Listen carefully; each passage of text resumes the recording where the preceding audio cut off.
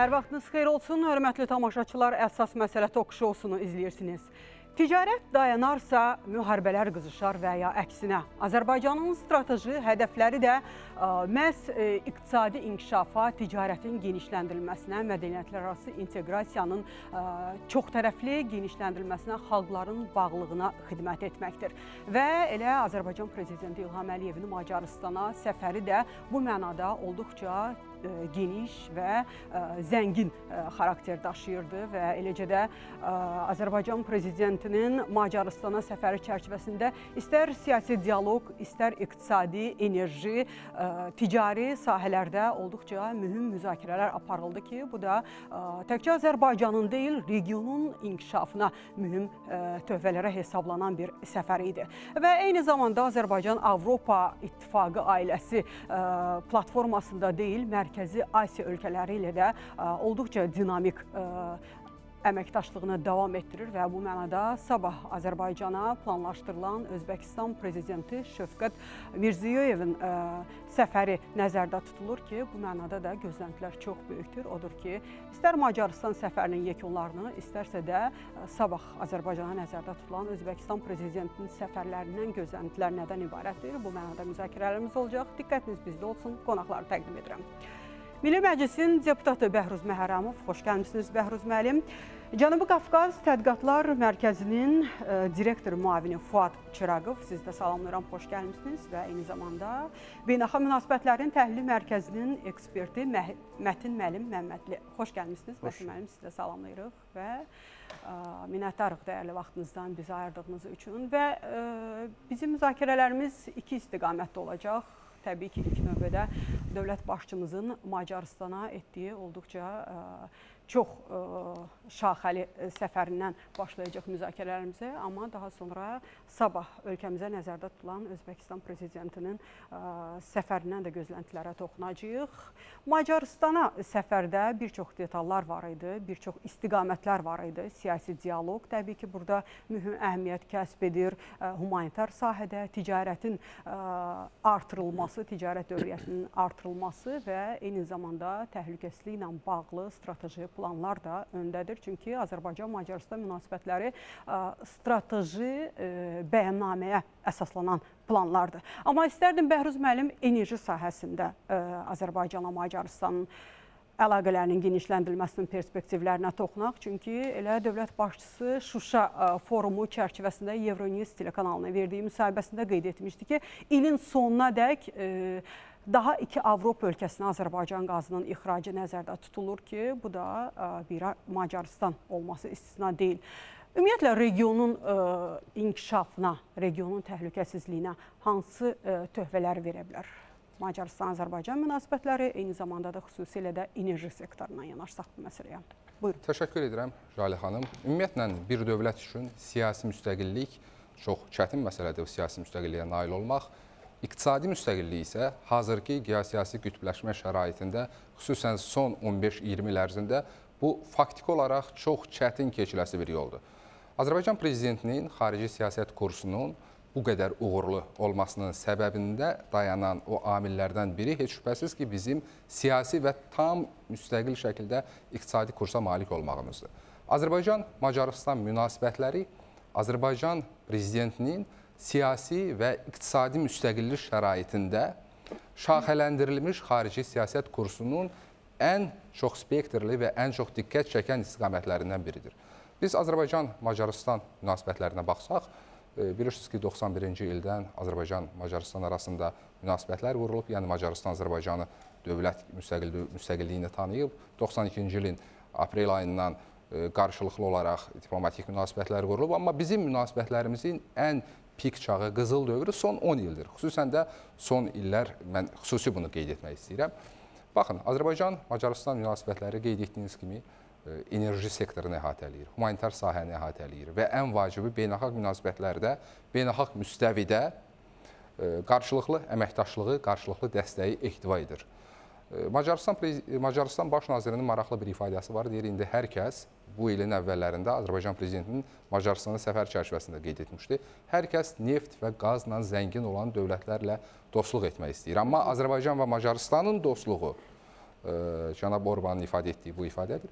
Bu daha əvvəllərə söykənir. Bəli, bizim tarixi oxşar tarixi yolumuz, tarixi köklərimiz, xüsusən Macarıstanın Türk birliyinə can atan qədim Hun yurdu olması və s. bunlar öz yerində. Amma biz xüsusi olaraq hazırda mən bir daha qeyd edirəm, Avropanın enerji təhlükəsizliyi ilə sınağa çəkildiyi bir dövrdə, beynəlxalq təhlükəsizliyin özündə ciddi boşluqların olduğu bir məqamda Avropanın özünün, xüsusən Avropanın gənc dövlətlərinin, yəni o, pas, o keçmiş o sosializm sistemindən qurtulan dövlətlərinin etibarlı tərəfdaşa çox ehtiyacı var. Azərbaycan dediyimiz kimi müstəqil dövlətdir. Müstəqil iqtisadi siyasəti var. Azərbaycan digər dövlətlərlə əlaqələr qurarkən, ticari, iqtisadi, siyasi və s. münasibətləri inkişaf etdirərkən, üçüncü, dördüncü dövlətlərin razılığını gözləmir, tələb etmir bunu.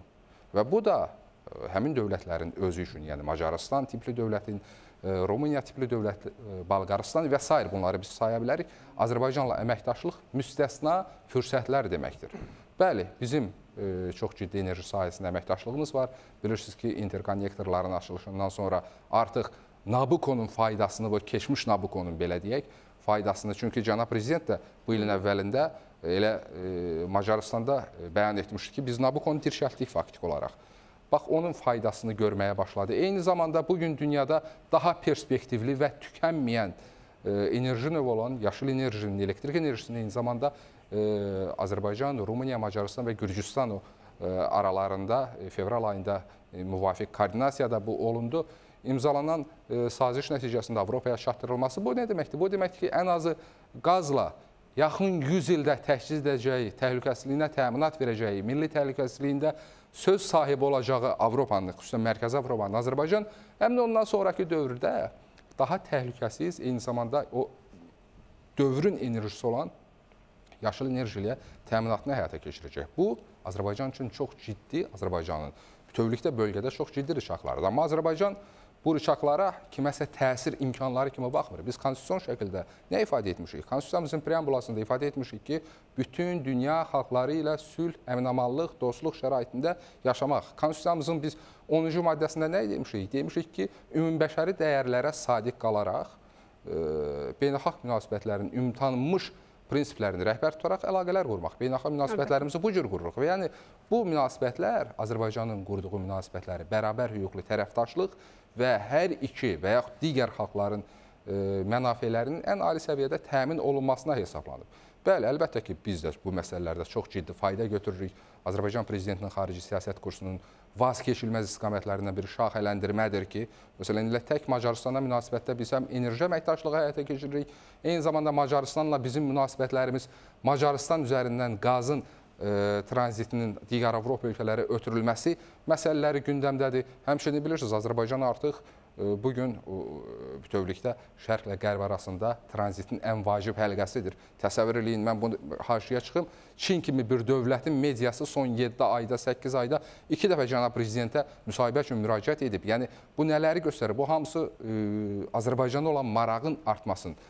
Pekindən ta Londona qədər o bütöv o yolun ən bir vacib kəmər, həlqəsinə, bir yol, bir yolun ən vacib həlqəsinə çevrilməsindən söhbət gedir. Bax, bütün bunlar təbii ki, bizim həm siyasi imkanlarımızı artırır, eyni zamanda həm də e, təbii ki, iqtisadi imkanlarımızı artırır. E, Macarıstan yalnız e, Azərbaycan-Macarıstan əlaqələri yalnız iki dövlətin münasibətləri kimi bu e, qəbul olunmamalıdır. Azərbaycan-Macarıstan əməkdaşlığının həmçinin o e, belə deyək fonunda biz çoxsaylı digər istiqamətlərə diqqət edə bilirik. E, bilirsiniz ki, Avropanın enerji təhlükəsizliyində Azərbaycan qeyd etdiyim kimi Macarıstanın E, vasitəsilə e, rol sahibi olacaq o interkonnektorlarla Macarıstan ötürülən qaz. Eyni zamanda beynəlxalq müstəvilərdə, ayrı-ayrı beynəlxalq təsisatlarda bizim çox qarşılıqlı faydalı əməkdaşlığımız, qarşılıqlı dəstəyimiz var. Yəni bu münasibətlər barədə çox danışmaq olar, amma ən vacib vurğulayacağımız məqam Azərbaycanın enerji siyasətində Azərbaycan-Macarıstan əlaqələri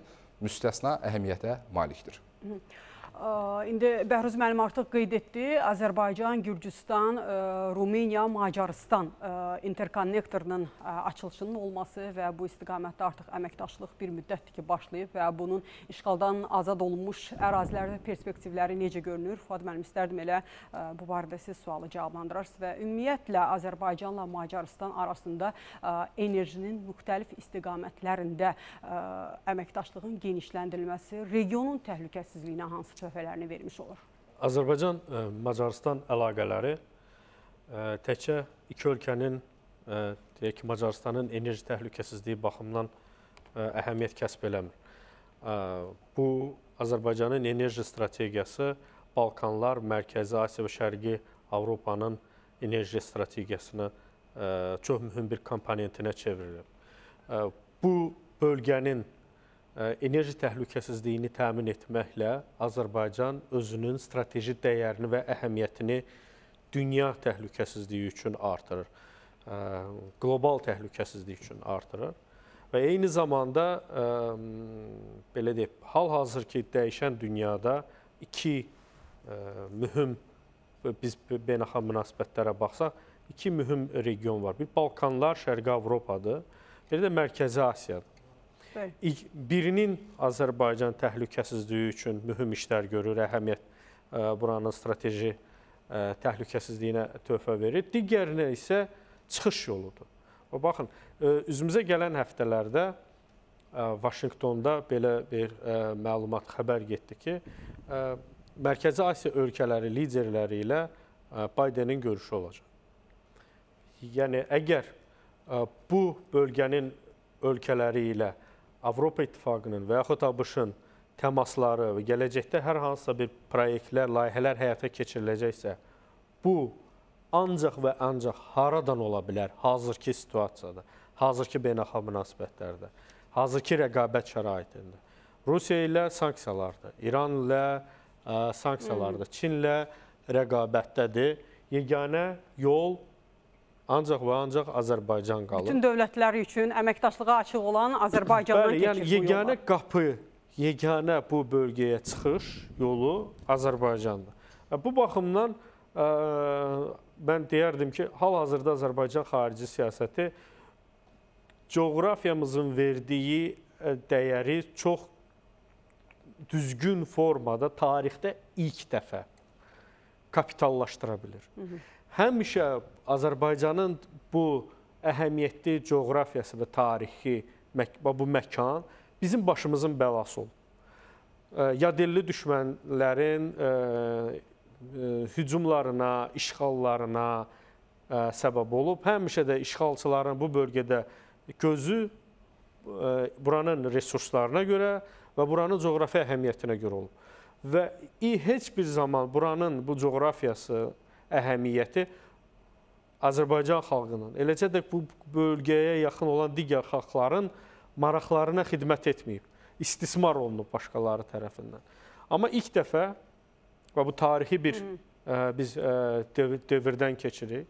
Ə, bir ucu Pekindən Çin, ə, Çin sərhəddindən, digər tərəfdən Adriatika ə, kimi biz cənab prezidentin son 1 ildə ə, səfərlər coğrafiyasına ə, baxsaq, eləcə də Azərbaycana e, səfərlərə baxsaq, biz görərik ki, necə e, bu xəritəyə, qlobusa baxanda mərkəz nöqtə kimi görünür. Azərbaycan bunu lokomotiv kimi e, öz üzərinə götürərək irəliyə aparmaqdadır. Və bu strateji əhəmiyyət, bu strateji dəyər düzgün reallaşdırılmasaydı, bu gün biz bizim üzərimizə olan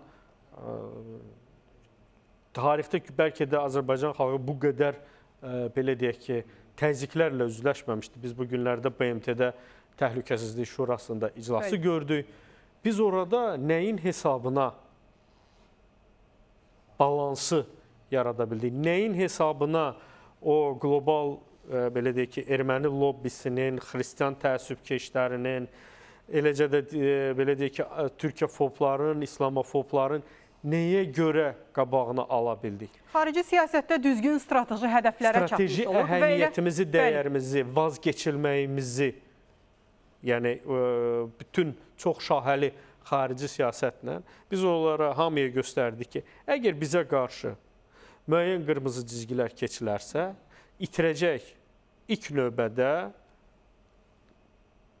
bunu edənlər olacaqdı. Ona görə də biz təhdidlər, e, belə deyək ki, psixoloji tə təzyiq kampaniyaları, geosiyasi proseslər hər bir şeyi fonunda, görürük. Amma görürük ki, müəyyən qırmızı cizgini keçə bilmirlər. Bu ilk növbədə və bu cür layihələrin ə, Qara dənizin altından keçən keçəcək bu enerji layihələrinin də Azərbaycanın həyata keçirdiyi Bakı, Tbilisi, ə, Ceyhan, Qars, dəmir yolları, filan bunların hamısının biz bu layihələrin hamısını ə, bir çoxunu həyata keçirəndə olmazın maneələrlə də üzləşmişik. Psixoloji təzyiqlərlə də üzləşmişik. İndi bu gün Bakı-Tbilisi-Qars dəmir yolu xətti işləyir və o ə, onun strateji əhəmiyyətini qərb ölkələrində qeyd eləyirlər. NATO-nun 70 illik yubileyində Vaşinqtonda xüsusi qeyd olundu.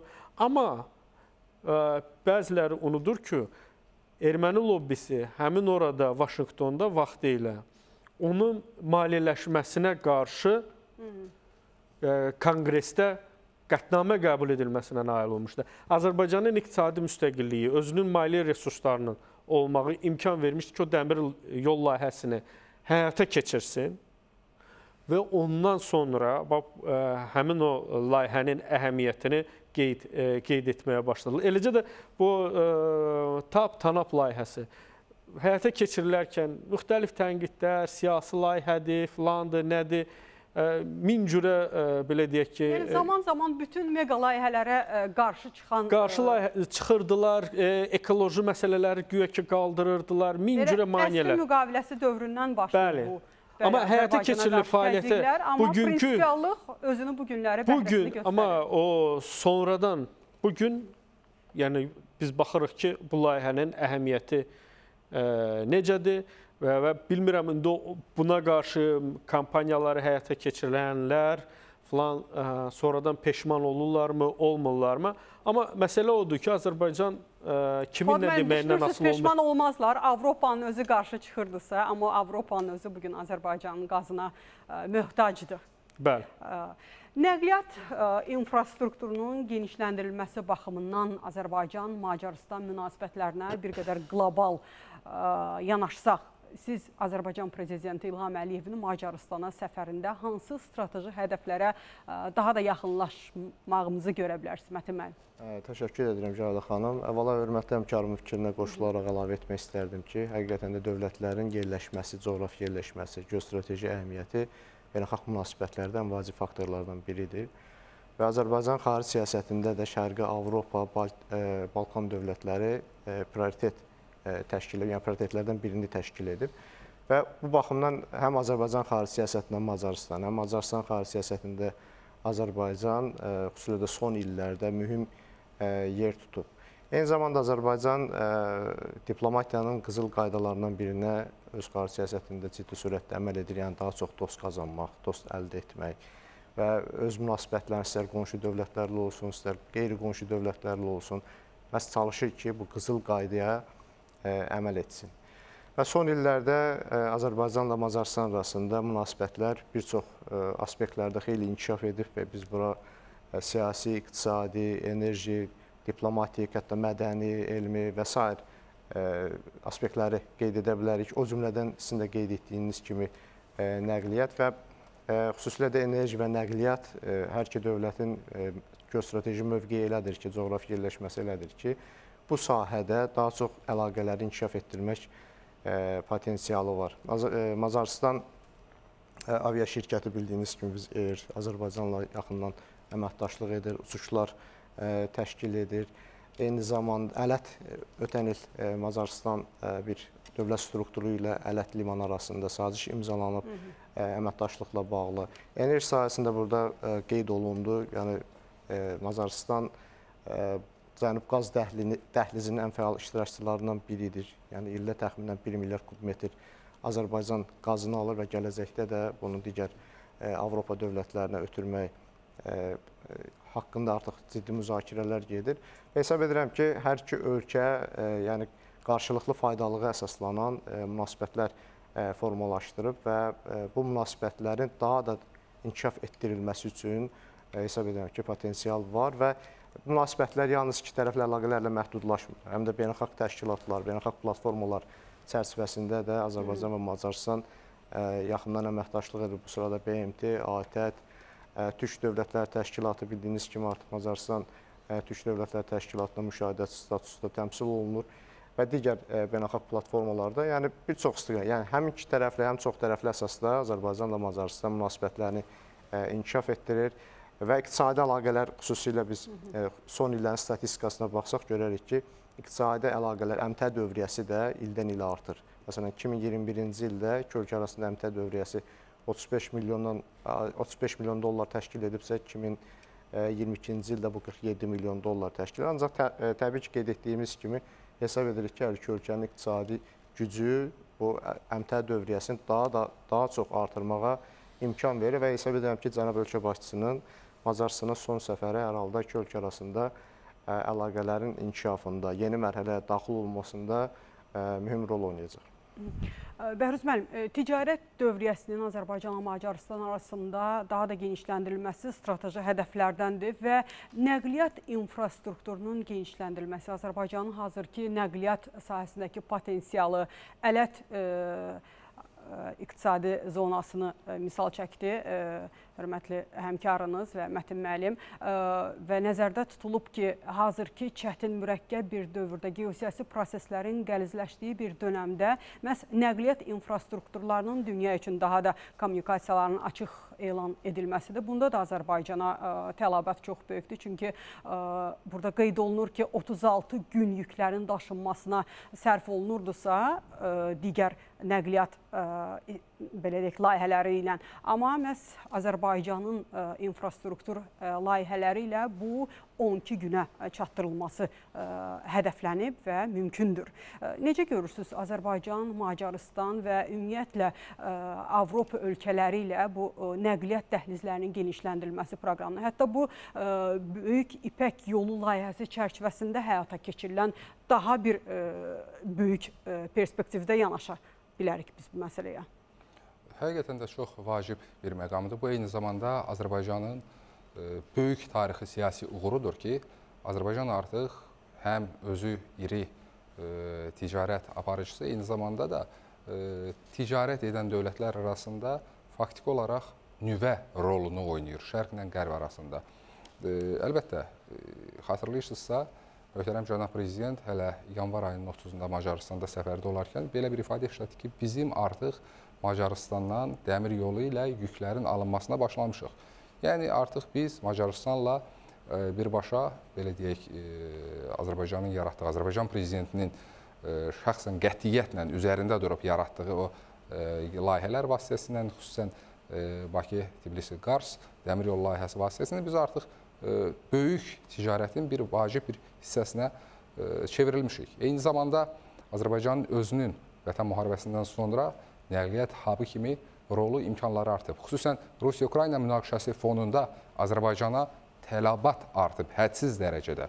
Həm etibarlı tərəfdaşdır, həm təhlükəsiz zonadır və eyni zamanda dünya tarixində bu tip analoqlar çox az müşahidə olunur. Təsəvvür eləyin, hələ Tovuz hadisələrindən başladı, eyni zamanda ondan daha sonra Vətən müharibəsi dövründə e, Bakı-Tbilisi, Qars, eyni zamanda Bakı-Tbilisi-Ceyhan xəttinin tam yanı az qala çox yaxın ərazisində müharibə getdiyi halda, döyüşlər getdiyi halda bu infrastrukturların heç biri zədə görmədi, zərər görmədi. Baxmayaraq ki, Ermənistan buna çoxsaylı cəhdlər etdi. Müharibə dövründə Azərbaycanın xarici ticarət partnyorları ilə siyasi qarşılıqlı olaraq bizim siyasi öhdəliklərimizin olduğu beynəlxalq tərəfdaşlarımızla öhdəliklərimizdə heç bir gecikmə olmadı. Bilirsiniz, beynəlxalq hüququn bugün ən vacib prinsiplərindən biri E, pacta sunt servandadır. Yəni öhdəliklərə vicdanla əməl edilməsi. Azərbaycan bu gün öhdəliklərinə istənilən force major şəraitində Etibarlı çox prinsip. yüksək səviyyədə əməl edən tərəfdaşdır və cənab İlham Əliyev də dünyanın hazırda qəbul olunan ən etibarlı siyasi liderlərindən biri hesab olunur. Bax, bunların fonunda əlbəttə ki, Azərbaycan etibarlı nəqliyyat tərəfdaşı kimi maraqdadır və diqqətdədir. İkincisi, möhtərəm prezidentin ən böyük uğurlarından biri ondan ibarətdir ki, Azərbaycan xalqının milli maraqlarını, dövlət maraqlarımızı ehtiva edən layihələri, bizə fayda gətirən o layihələri qlobal maraqlarla üst-üstə oturda bilib. Yəni biz Zəngəzur dəhlizi bizim üçün nə qədər vacibdirsə, biz buna lap mini layihədə, mini lokal e, əhəmiyyətinə yanaşsaq, Azərbaycanla Naxçıvanı yalnız birləşdirməsi fonundan heç kənara çıxmasaq, bu bizim üçün çox maraqlıdır, siyasi əhəmiyyətlidir. Elə digər məsələləri mən qoyuram kənara. Hətta sosial əhəmiyyətlidir Naxçıvan və Azərbaycan üçün bizim bölgəmizlə əlaqəmizin, quru əlaqənin təmini üçün biraz daha genişlətsək Türk dünyanı, dünyasını birləşdirəcək əlaqə üçün. Amma bu, baxın, eyni zamanda yalnız artıq bizim maraqlarımıza etibar etmir.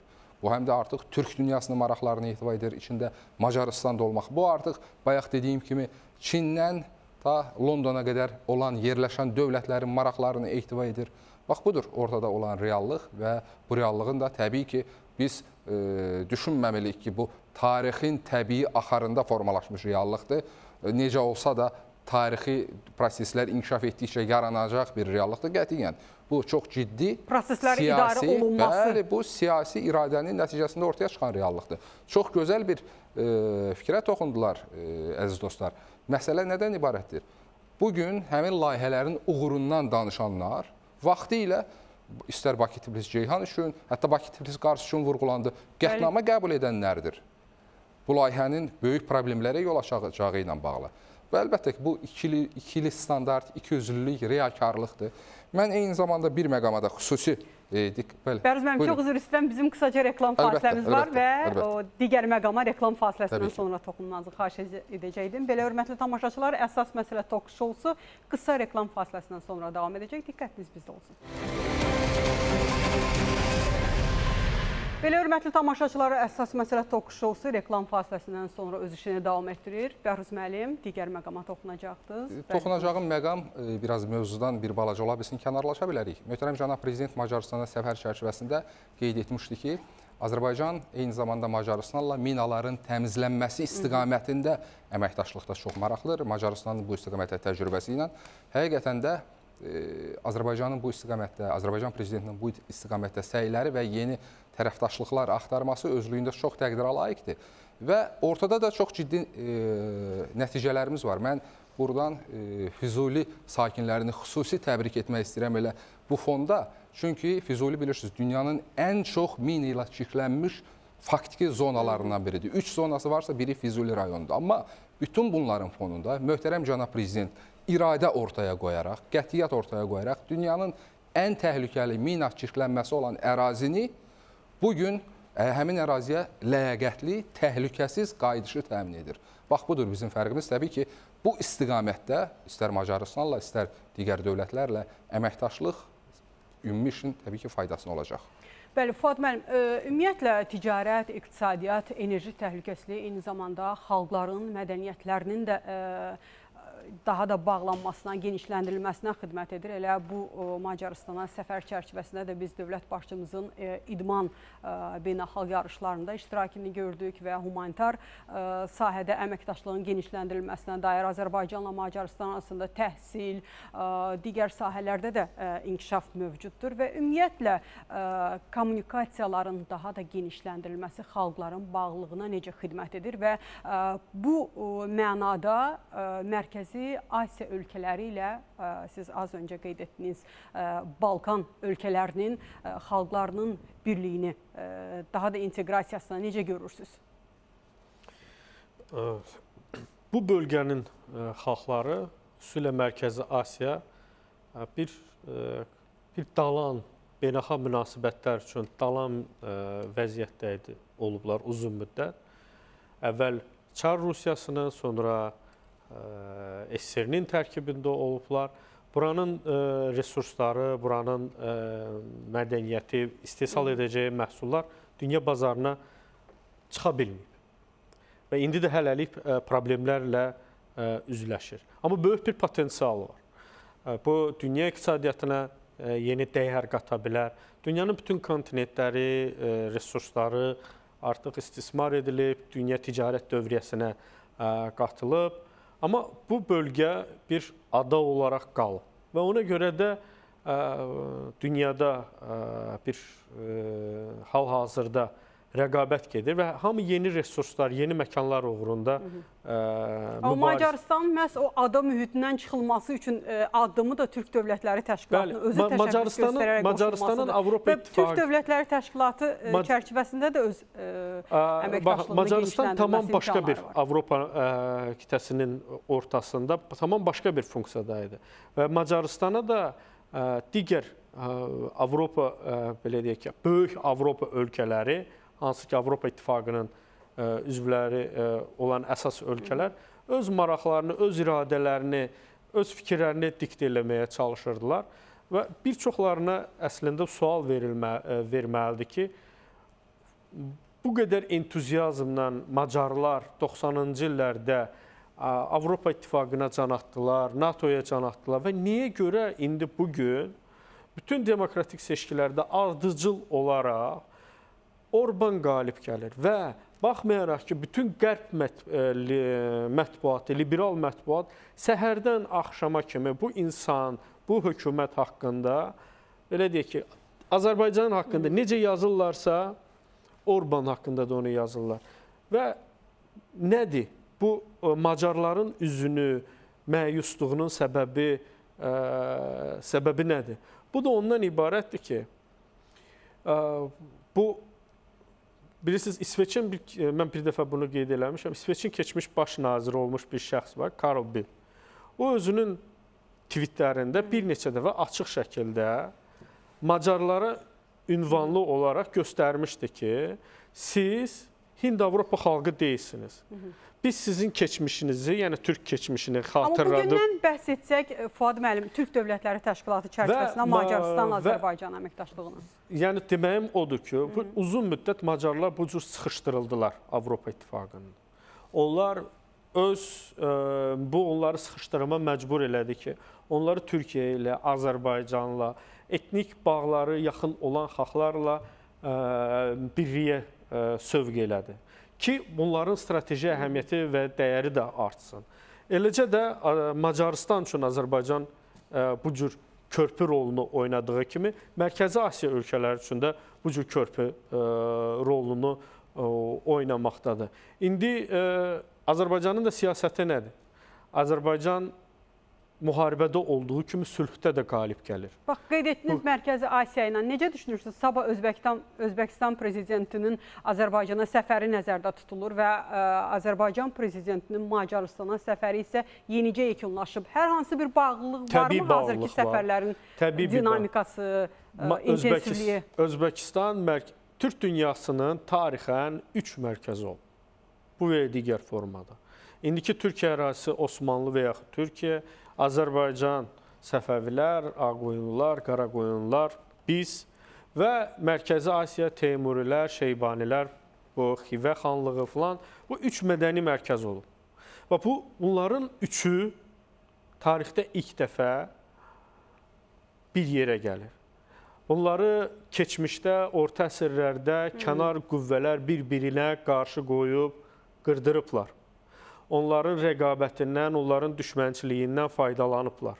Amma tarixdə indi ilk dəfə bu üç türk mərkəzi bir araya gəlir və mərkəzi Avrasiyanın ingiliscə Inner Eurasia deyilir. Mərkəzi Avrasiyanın sütununa, onun belə deyək ki, ə, mərk ə, yeni bir burada ekosistem iqtisadi sistem e, e, yaradırlar.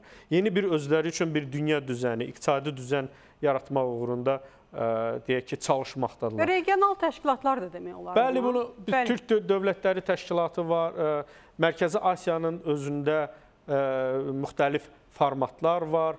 5 plus müxtəlif formatları var. Biz çox mühüm olan son zamanlar Özbəkistanla Qazaxstan arasında da inteqrasiya proseslərinin, strateji əhəmiyyətin, strateji əməkdaşlığın artmasını görürük. Hətta müttəfiqliyin artmasını və hətta müttəfiqliyin artmasını görürük. Azərbaycan-Türkiyə münasibətlərindən sonra və bütün bunların hamısı bir məsələni qeyd eləmək lazım.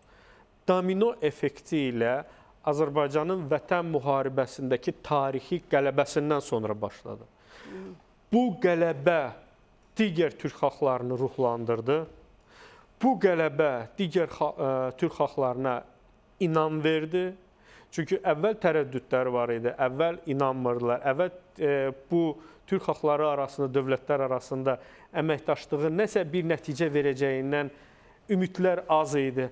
Amma Vətən müharibəsi onu göstərdi ki, bu xalqlar bir yerdə olduqca onlar problemlərini də həll edə biləcəklər, təhlükəsizliklərini də təmin edə biləcəklər, iqtisadi müstəqilliklərini də təmin edə biləcəklər, kənar təzyiqlərə qarşı effektiv mübarizə də apara biləcəklər. Aydındır. Və Mətin müəllim, siz ə, Azərbaycan prezidentinin ə, Macaristana səfərinin yekunlarını ümumiləşdirsək və sabah Özbəkistan prezidentinin ə, Azərbaycana səfərini ə, toxunsaq, bir bağlılıq görürsünüzmü? Nədir bu strateji hədəfləri?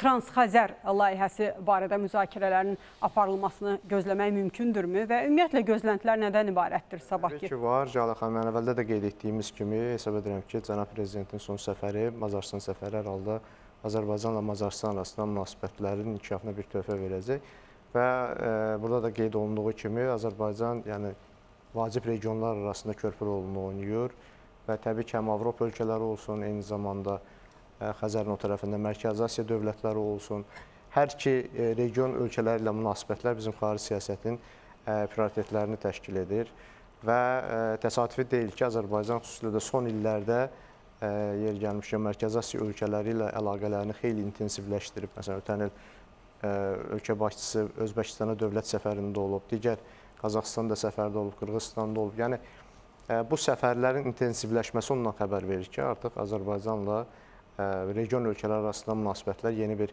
mərhələyə daxil olur. Və burada da qeyd edildiyi kimi Özbəkistan sıradan bir dövlət deyil. Yəni xüsusilə də regionun iki bu gün iki aparıcı, yəni Qazaxıstanla bərabər dövlətindən biridir. Eyni zamanda bir sıra parametrlərinə görə, yəni tarixi, mədəni, dini parametrlərinə görə hətta region mərkəzi hesab olunur. Böyük iqtisadi potensialı olan bir dövlətdir. Yəni belə bir dövlətlə münasibətlər təbii ki, inkişaf elətdirmək rasional xarici siyasət yeridən ölkəmiz üçün mühüm əhəmiyyət daşıyır və düşünürəm ki, hər halda sabah reallaşdırılan səfər də Özbəkistan prezidentinin səfəri də iki ölkə arasında əlaqələrə təkan verəcək. Bərz müəllim, sizin gözləntiləriniz nədən ibarətdir? Özbəkistan prezidentinin Azərbaycana səfərindən və xüsusilə də işğaldan azad olunmuş ərazilərdə Mərkəzi Asiya ölkələrinin də bir qardaşlıq, dostluq simvolu olaraq əməkdaşlığı artıb və bu layihələrdə iştirakı artıb və ümumiyyətlə gözləntilər nədən ibarət olar Şəfqat Mirzəyevin səfərindən? Jələ xanım, Mən Özbəkistan-Azərbaycan münasibətləri ilə bağlı iki vacib məqama diqqət etmək istəyirəm. Birincisi, Azərbaycanda vaxtı ilə Türk adını, e, Turan ideyasını, Türk birliyi ideyasını yerli yersiz istismar edənlər Özbəkistan-Azərbaycan münasibətlərini sıfırdan aşağı səviyyəyə salmışdılar. Və bugünkü Özbəkistan-Azərbaycan münasibətləri e, bacarıqsız adamların vaxtı ilə zədələdiyi o münasibətlərin hazırki səviyyəsi Ulu Öndər Heydər Əliyev tərəfindən və möhtərəm cənab prezident tərəfindən ilmə-ilmə toxunmuş yeni münasibətlərdir. Bəli, bizim kökümüz eynidir, eyni e, dildə danışırıq və s. və ilaxır. Amma son nəticədə biz tarixin heç bir dövründə bu qədər yaxınlaşmamışdıq. Və o istismarçılardan fərqli olaraq cənab İlham Əliyev göstərdi ki, Özbəkistanla münasibətlərdə, Qazaxıstanla, Qırğızstanla və s. Türkmənistanla göstərdi ki, Türk birliyi necə qurulur? Konkret olaraq Azərbaycan-Özbəkistan münasibətlərinin o sabahki səviyyəsi ilə bağlı bir müddət bundan əvvəl möhtərəm cənab prezident Özbəkistanın prezidentinə ad günü münasibəti ilə xatırlayırsınızsa zəng etmişdi, onu təbrik etdi. Ondan öncə referendum münasibəti ilə orada nə ifadə olundu? Belə bir cümlə ifadə olundu ki, sizin gözlənilən səfəriniz bizim münasibətləri yeni səviyyəyə daşıyacaq. Yəni bu səfərin əhəmiyyəti ilə bağlı anons artıq verilib. Hmm. İkincisi bilirsiniz ki, keçən ilin elə bu vaxtı e, bir təqribən 1 il 1 bir ay bundan qabaq iyun ayının iyul ayının 21-də Azərbaycanla Özbəkistan arasında strateji tərəfdaşlığın dərinləşdirilməsi və əməkdaşlığın genişləndirilməsi ilə bağlı bir saziş imzalandı. Bəli. Bu da çox e, belə deyək Azərbaycan Azərbaycanın xüsusi önəm verdiyi eyni zamanda Özbəkistan tarixində vacib rol oynayacaq strateji səviyyəyə münasibətlərin yüksəldilməsi tam tam şəkildə bunların hamısını əhatə edir.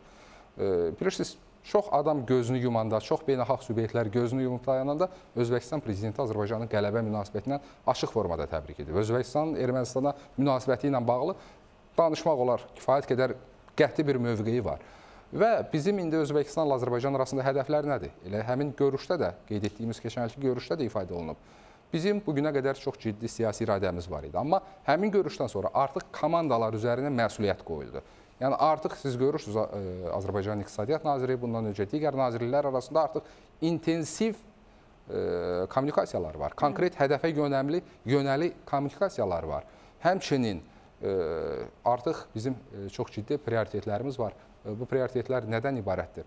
Həm Azərbaycan Orta Asiya üçün, Özbəkistan üçün qərbə qapıdır. Digər tərəfdən biz birlikdə həm ticari dövriyyəni artırılması, Şövkət Mirziyoyev özü açıq şəkildə müəyyən formada öz narazılığını da hətta hər iki lider ifadə etdi ki, bizim münasibətlərin səviyyəsinə ticari əlaqələrimizin səviyyəsi biraz uyğun gəlmir.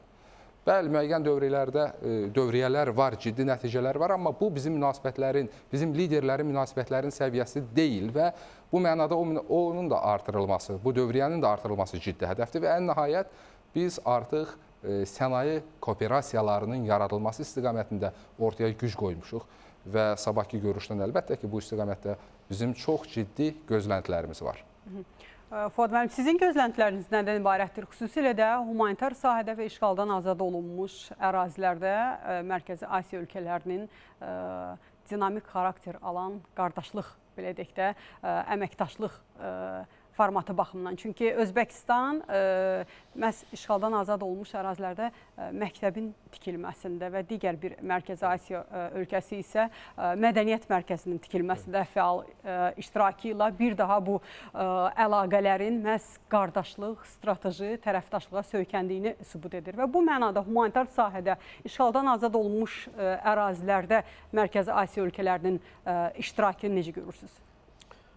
Siz həmin tikilən ə, obyektlərin əhəmiyyəti haqqında artıq ə, belə deyək ki, sualınızda hər şeyi əhatə elədiniz. Nə isə yeni əlavə etmək çətindir. Ə, gözləntilər əslində ə, böyükdür. Ə, hörmətli millət vəkili ə, maraqlı vacib məqamı qeyd elədi ki, dövlət başçıları ə, bizim əlaqələrimizin səviyyəsinə uyğun iqtisadi əlaqələrin adekvat olmadığını Bunu narazılıq formada ifadə ediblər və bunun artırılması istiqamətində qarşıya hədəflər qoyublar. Özbəkistan Mərkəzi Asiyanın böyük iqtisadi potensialı olan ölkəsidir və dənizə çıxışı olmayan ölkəsidir. Landlocked deyilir. 2 dəfə dənizə çıxışı olmayan belə deyək ki, ölkəsidir və bu ölkənin böyüyən iqtisadiyyatı, artan xahiş edəcəm fikirlərinizi. Çünki artan iqtisadiyyatı üçün ə, Azərbaycan çox mühüm belə deyək ki, Hı -hı. Ə, rol oynamaqdadır. Qardaşlıq iqtisadi qardaşlıq münasibətləri öz yerində. Amma bütün bunlar qarşılıqlı iqtisadi asılılıqla, əlaqələrlə möhkəmləndiriləndə bu həqiqi belə deyək ki, birlik olur. Bu utopik, nəzəri, arzu olunan birlik deyil gələcəyə yönəlik bir birlik olur. Ona görə gözləntilər çox böyükdür. Yəqin ki, yeni layihələr imzalanacaq, yeni üfüqlər göstəriləcək. Təşəkkür edirəm hər birinizə, hörmətli qonaqlar. Təəssüflər olsun ki, bizə ayrılan vaxt artıq başa çatır. Belə hörmətli tamaşaçılar və müzakirələrimizdən də belə nəticəyə gəlmək olur ki, ümumiyyətlə Azərbaycan ə, məhz ə, rəqabətdə, məhz əməkdaşlığın ə, rəqabət məkanıdır və Azərbaycan prezidenti, Azərbaycan liderinin Macaristana səfərində də biz bu məqsədləri aydın şəkildə görmüş olduq və dövlət başçımızın Macaristana səfərinin yekunlarını müzakirə etdik. Eyni zamanda Özbəkistan prezidenti Şofqat Mirziyoyev Mirziyoyevin sabah Azərbaycana nəzərdə tutulan səfərindən gözləntiləri müzakirə etdik. Gəlin görüşlərə dək salamat qalın.